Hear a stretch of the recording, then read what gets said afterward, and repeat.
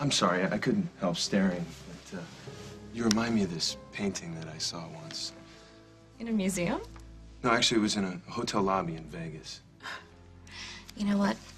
Not really interested. No, wait. See, she uh, she has this wicked little smile on her face, like maybe she knows someone's watching. Someone should be watching you, like a police officer. Oh, come on, don't be like that. Don't come near me again. Like I'd waste my time.